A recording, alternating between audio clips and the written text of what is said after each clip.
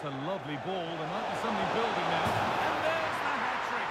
He'll be taking the match